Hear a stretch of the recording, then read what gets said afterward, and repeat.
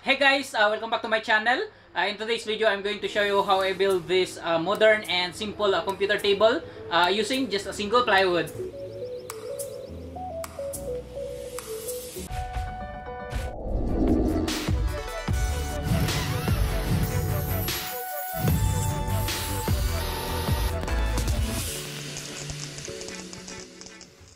Hi, uh, my name is Efren. I'm a designer and I also love building DIY projects. Uh, if you're new to my channel, please consider subscribing and if you like this video, please give it a thumbs up and let's start! So before I'm going to show you the start of this build because uh, building a project using a single plywood only is very challenging and before I start building this project and cutting the parts that I need, I design it first in SketchUp so that I can lay out and find if this one single plywood will be enough for this project. So, ito yung design na ginawa ko dito sa SketchUp. So, this is just a simple design and then I just put a curves and taper.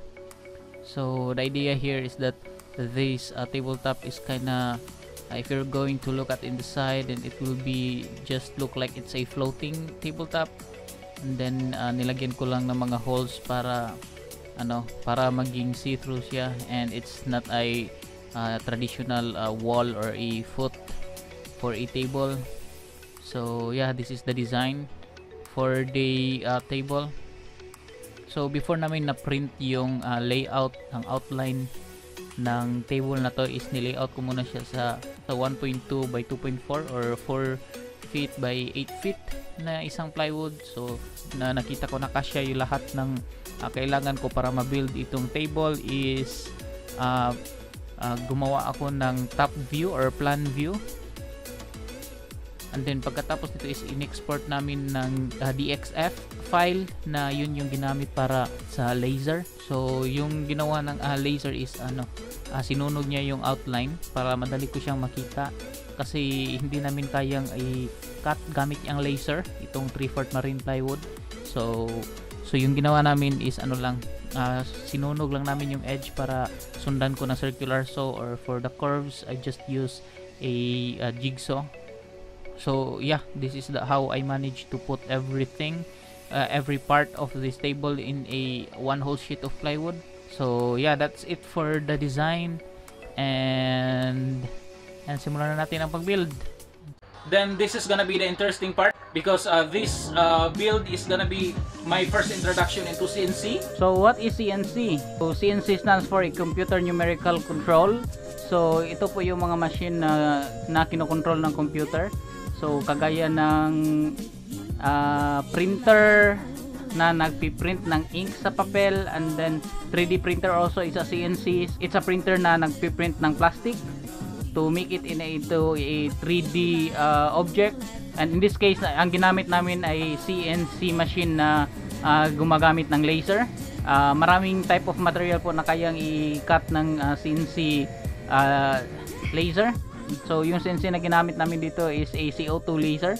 Uh, I don't know the wattage but then uh, it can cut through uh, one half sheet of plywood in uh, multiple pass but then in this case yung ginamit namin na material is uh, 3/4 marine plywood. So yung ginawa lang namin dito is sinunog namin yung uh, layout or yung pattern or outline ng uh, buong parts ng table. So dahil ka ang kayang i-cut or i-trace ng uh, CO2 laser na ginamit namin is uh, 1.2 meter by uh, 0.8 meter. So yung ginawa ko is kinat ko lang yung whole sheet of plywood into 3 parts. So 80 80 80 that's uh, 2.4 meters. And then the the width is 1.2 meters. So pagkatapos ma-engrave ng design sa plywood is uh, so after that is binitbit ko yung marine plywood outside and then sinimulan ko na yung pagcut. So uh, ito yung isa sa pinakamadaling uh, method na na ginawa ko. So dahil yung uh, pattern or yung design ng uh, ng buong parts ng table na to is naka-engrave na sa marine plywood So ginamit ko lang itong uh, DIY uh, circular saw track na ginawa ko and then kinat ko lang and then tinrace ko yung uh, outline ng buong parts ng uh, table gamit ang aking circular saw and a DIY circular saw track.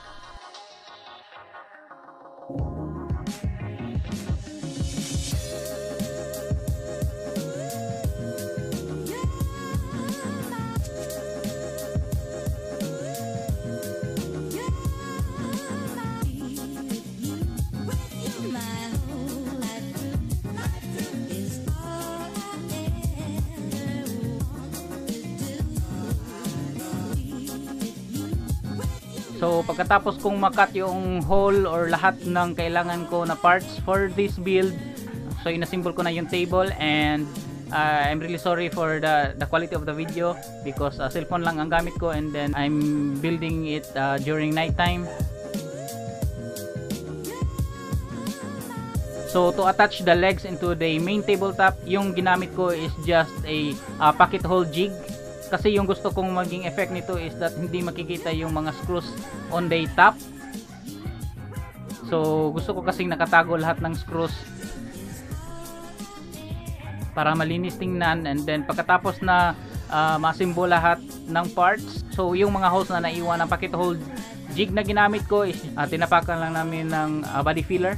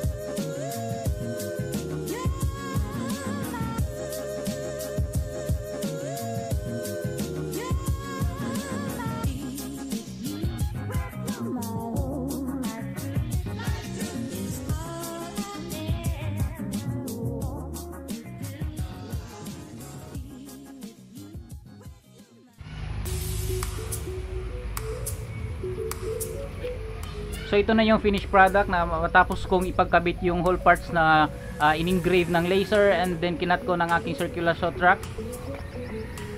So the next part will be uh, imamasilya namin dito yung mga holes, yung mga screw heads. So tatakpan namin yun ng uh, body filler and then uh, unfortunately uh, yung ginamit namin ay uh, marine fiber for this build is really a uh, very big disappointment kasi it's a very bad quality marine plywood because marami siyang butas. So kailangan siyang takpan lahat ng edges. So yeah. So this is the quality of the marine plywood that we use. Marami siyang butas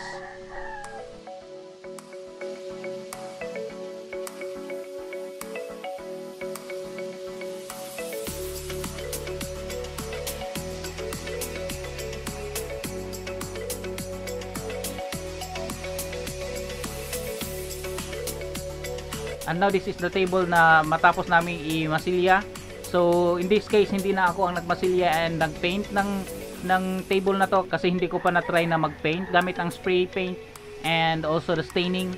So yung finish ng uh, computer table na to is just a yung tabletop is a wood stain and then uh, finished with a lacquer and then for the body and then for the foot and also for the uh, CPU uh, enclosure uh, automotive lacquer white